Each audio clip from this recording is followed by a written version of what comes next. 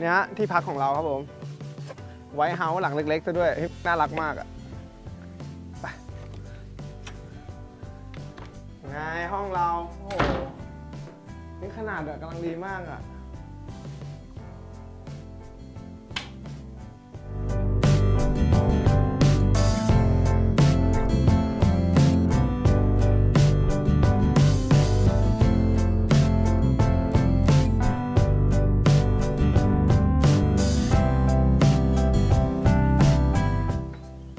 พัก ขนาดกำลังดีไม่ต้องใหญ่เกินไป เจ๋วเลย ไม่รู้เป็นเหมือนกันไหมนะแต่ผมไม่ชอบพักที่เล็กๆ มันชินแล้วอะ่ะ เพราะว่าเราก็อยู่ห้องเล็กๆ เหมือนกันตอนที่พักจริง ๆ ของเรา ผมรู้สึกว่าอะไรที่มันกว้างไปมันทำให้ดูเหงาอะถ้าอยู่คนเดียว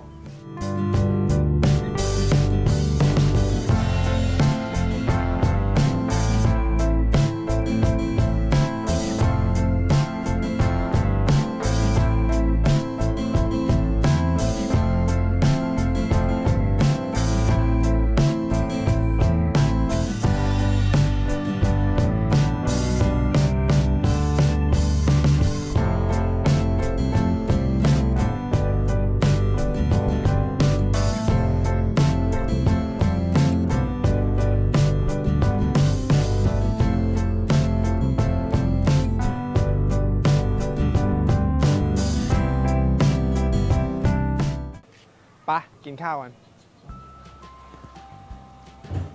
ป้าสวัสดีครับ มารับข้าวครับไงสั่งข้าวมารับข้าวได้ด้วยอันไหนบ้าง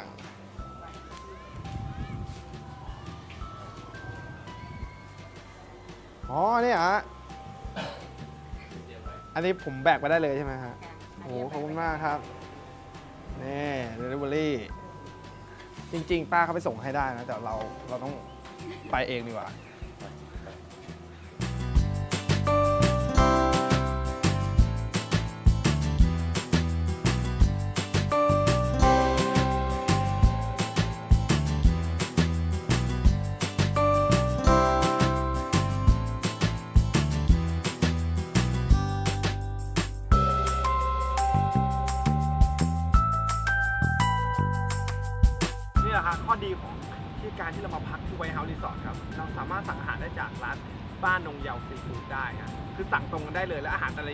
บอกเลยก็ระดับพัตตาคารนะครับดูดีมากๆ แล้วก็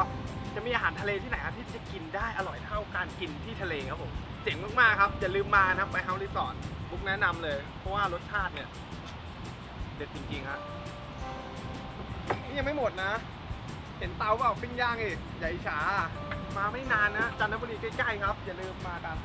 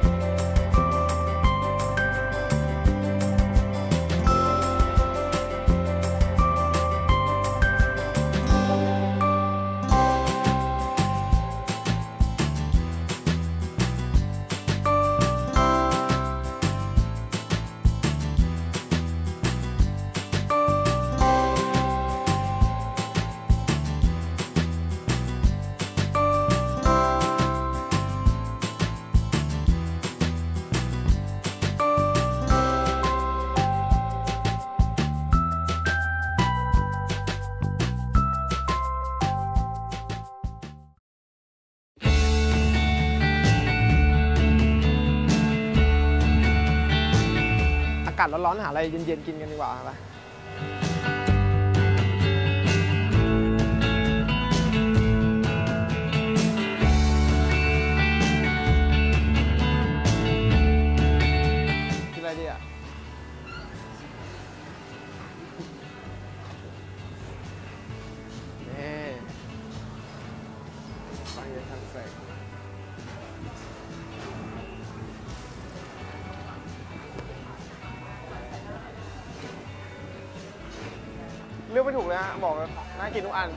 รอบนี้ว่าจะสั่งผลไม้ดีกว่า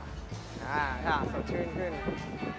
แต่เขาบอกกันว่าคนจังเขาบอกว่าเจ้านี้เด็ดจริงๆ เมื่อก่อนมีอยู่เจ้าเดียวแต่ตอนนี้เป็นแค่สองสองร้านเขาเรียก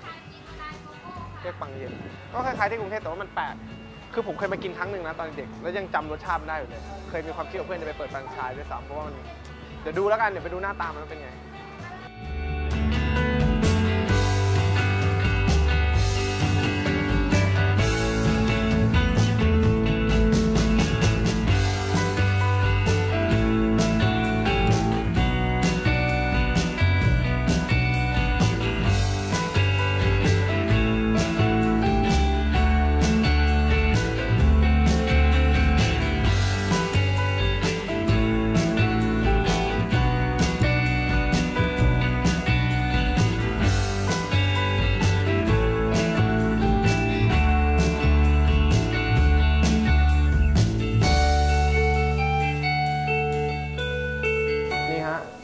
ำบาของผม เมื่อกี้ผมเรียกผิดนะเขาไม่เรียกว่าปังเย็นที่นี่เขาเรียกว่าจำบาของผมเป็นหน้าผลไม้รวมดูแล้วกันคือแกไม่ประหยัดเครื่องเลยแกจัดให้เต็มมาก 40 บาทแค่นั้นครับผมมาชิมกันแล้วเดี๋ยวเสร็จจากการจัดการไอ้ถ้วยนี้เสร็จเนี่ยผมจะพาไปทำกิจกรรมบางอย่างเดี๋ยวเราจะเสียเลือดเสียเนื้อกันเลยทีเดียว อยากรู้ว่าเป็นอะไรติดตามครับ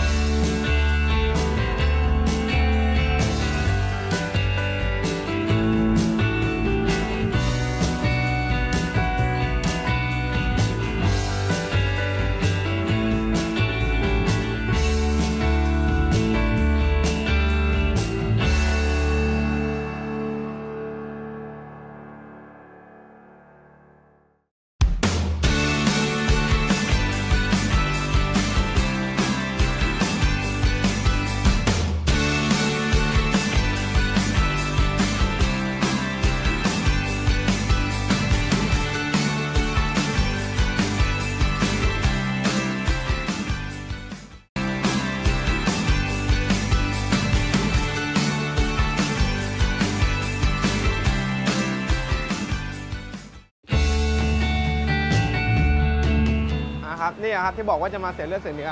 วันนี้จะมาสักกันครับผมเดี๋ยวมาดูกันว่าช่างสักที่จันทร์เนี่ยเจ๋งแค่ไหนพอดีมีพี่เขาแนะนำมาไป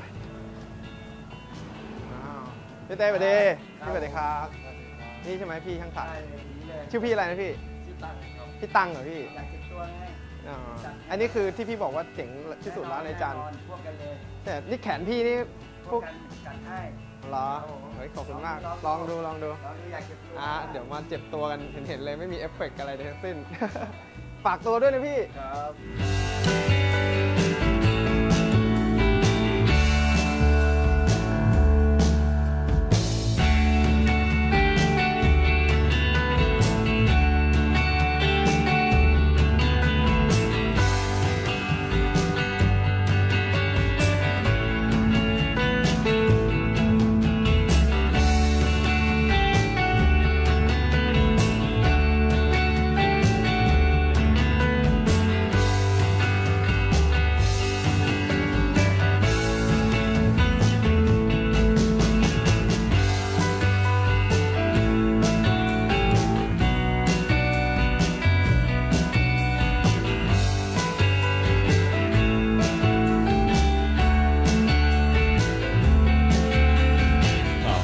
าจะลงเข็มกันแล้ว เดี๋ยวมาดูกันว่ามันจะเจ็บปวดร้าวสักเพียงใดนะฮะถ้าทางจะรอบนี้รูปใหญ่พอสมควรนะฮะเจ็บหนักฮะกลับบ้านได้เจ็บหนัก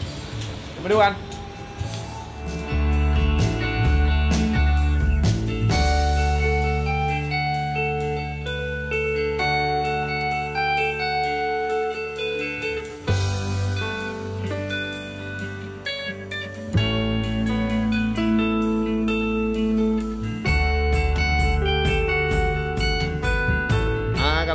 ข็มแล้ว ตอนนี้ก็จึกไม่ได้สักมานานแล้วนะ จึกแรกของไทยจะปวดร้าวหน้าดูฮะสู้ตาย เดี๋ยวมาดูกัน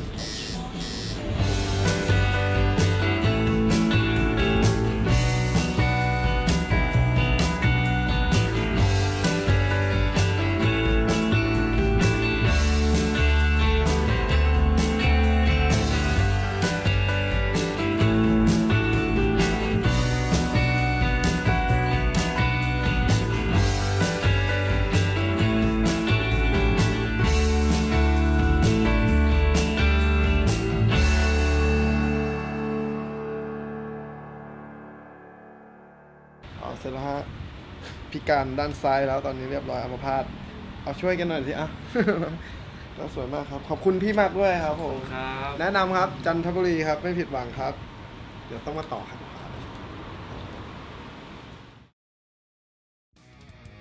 เอาละฮะเรามาพูดถึงการโหนสลิงของบุ๊กดีกว่า อย่างที่รู้กันครับ ครั้งนี้เป็นครั้งแรกของบุ๊กเลย การโหนสลิงของบุ๊กเลยตื่นเต้นกว่าคนอื่นเป็นธรรมดาอยู่แล้ว ทันทีที่ได้โหนครับ บุ๊กรู้สึกว่า มันหวาดเสียวมากๆเลยจริงๆ ด้วยส่วนตัวเนี่ยเป็นคนที่กลัวความสูงอยู่แล้ว แต่ความหวาดเสียวของบุ๊กเนี่ยมันแลกด้วยความสวยงาม โดยวิวทิวทัศน์ที่อยู่ด้านล่างนั่นเองครับผม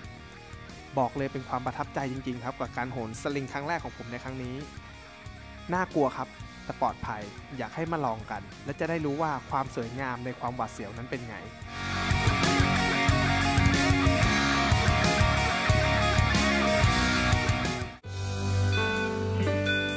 บรรยากาศระหว่างทางที่ก่อนจะไปดูเหยี่ยวเนี่ยบอกได้เลยครับตื่นเต้นมากๆ เพราะว่าแต่ละวันเนี่ยเหยี่ยวจะมาจำนวนไม่ซ้ำกัน วันนี้ฮะบุ๊กคาดหวังว่าจะเป็นวันโชคดีของบุ๊กที่จะได้เจอฝูงเหยี่ยวแบบเต็มๆสักที และจะเก็บภาพไปฝากเพื่อนๆทางบ้าน ไม่รู้ครับข้างหน้าจะเป็นยังไง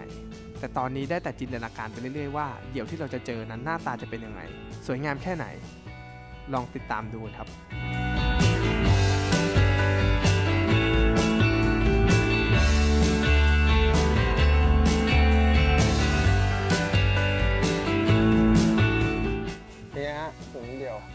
คือเราจะเห็นลักษณะของเขา มันเหมือนมนุษย์อะคุณคุณคิดภาพ นกก็คือสัตว์ปีกแต่ว่านกมีนกกินพืช นกกินเนื้อ นี่คือเหยี่ยวที่เขาไว้กินเนื้อ การบินของมัน การโฉบมันมันสง่างามกว่ากว่านกทั่วไป ไม่รู้คุณคิดเหมือนผมปะนะ แต่ผมรู้สึกแบบนั้น ไม่เชื่อหรอก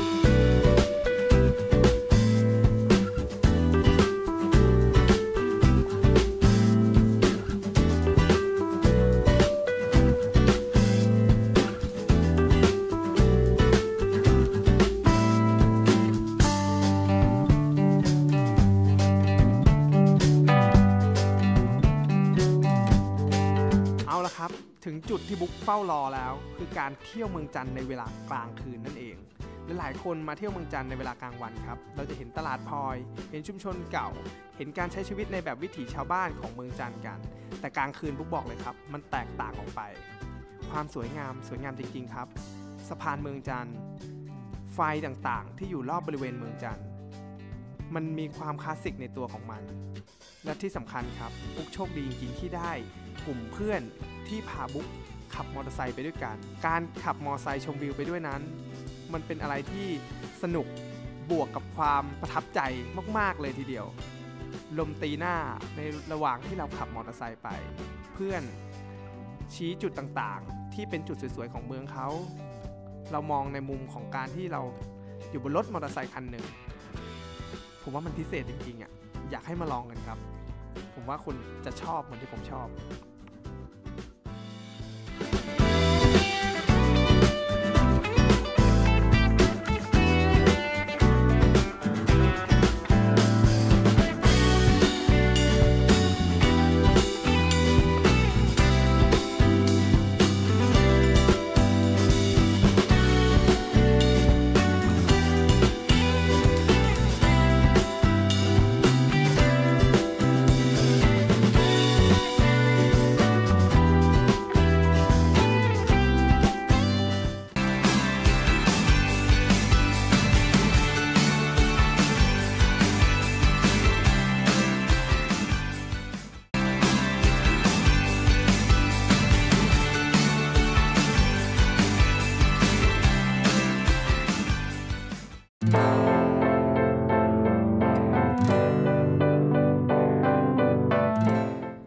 คุกกี้ไก่ ทันทีที่มาถึงเรามาถึงช่วงเวลาประมาณเที่ยงแดดร้อนค่อนข้างจะรุนแรงมาทำให้นึกถึงเลยครับ ภาพที่ผมมองเข้าไปในคุกกี้ไก่ ในบรรยากาศ แล้วเวลาที่ร้อนระอุแบบนี้ ถ้าผมเป็นนักโทษที่อยู่ในนั้น ผมคงทรมานและอ่อนเพลียมากเลยจริงๆณตอนนี้คุกกี้ไก่ ไม่ได้ดูน่ากลัวเหมือนเดิมแล้ว แต่กลิ่นอายของมันความรู้สึกพวกนี้ เราไม่สามารถบรรยายด้วยภาพได้ครับ เราต้องมาอยู่ในสถานที่นี้จริง ๆ แล้วคุณจะรู้ว่ามันมีกลิ่นอายอะไรบางอย่าง ที่ทำให้เราสามารถมโนและนึกถึงภาพเก่าๆ ในตอนที่เขายังคงเป็นคุกมีคนอยู่ข้างในนั้นจริง ๆ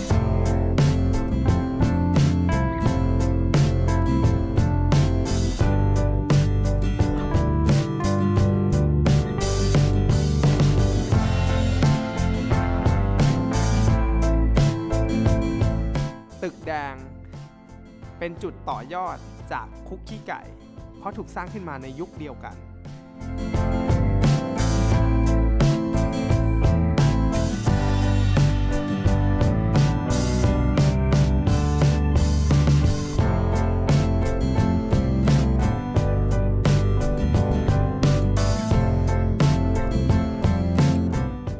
ทันทีที่เข้ามา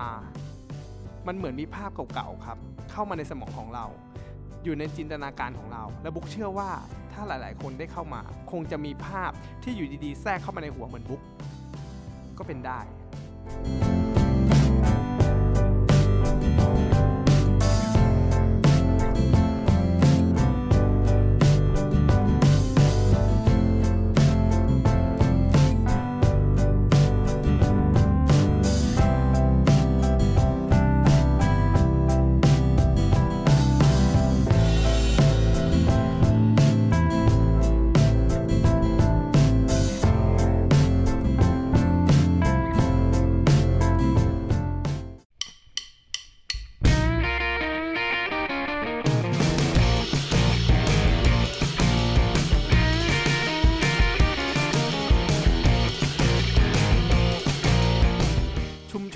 ชนจันทบูรณ์ชุมชนเก่าแก่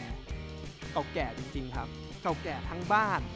ทั้งร้านอาหาร เหมือนพวกเขานัดกันมา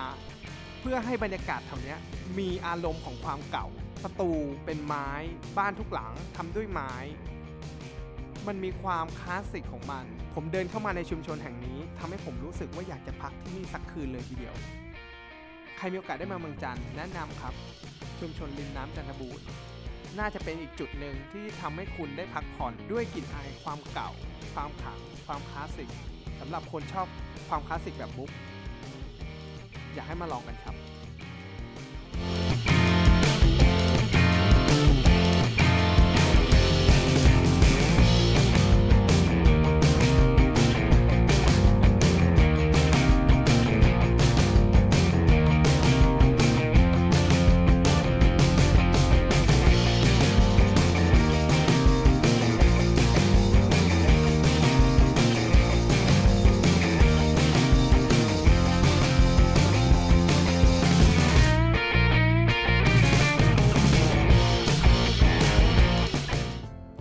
ไฟเท้าสั้นกับจันทบุรีในครั้งนี้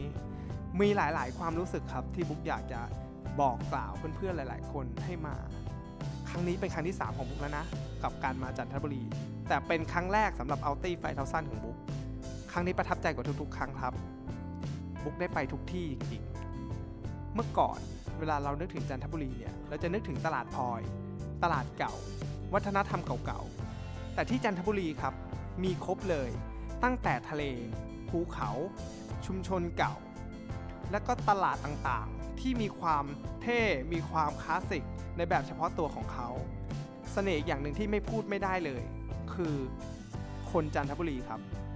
น้ำจิตน้ำใจ แม้กระทั่งกลุ่มเพื่อนๆที่เราได้ไปเที่ยวกับเขา เราจะเห็นถึงความอัธยาศัยดี ความเป็นกันเอง สิ่งพวกนี้หาได้ยากในเมืองมากขึ้นเรื่อยๆครับ แต่ที่จันทบุรีเนี่ย ดูเหมือนอะไรทุกอย่างมันจะดูง่ายดายไปหมดเลย หากเราจะนึกถึงที่สักที่หนึ่งที่มาพักผ่อนหย่อนใจ ที่สักที่หนึ่งที่ไม่มีใครรบกวนจิตใจ ที่สักที่หนึ่งที่มีน้ำจิตน้ำใจ และมีบรรยากาศที่สวยงาม จันทบุรีเป็นตัวเลือกที่ยอดเยี่ยมสำหรับบุ๊กเลยครับผมแนะนำอยากให้มาลองเที่ยวกัน อาจจะไม่ใช่ในแบบของบุ๊กแต่อยากให้มาเที่ยวกันในรูปแบบของอัลตี้ไฟเท้าสั้นที่ไม่มีกฎเกณฑ์ ไปทุกๆทที่ จอดทุกทุกที่ ผมเชื่อครับว่าที่หนึ่งจะเป็นความทรงจำที่ดีของคุณ เหมือนบุ๊กจันทบุรี เอาตีไฟเทาซัง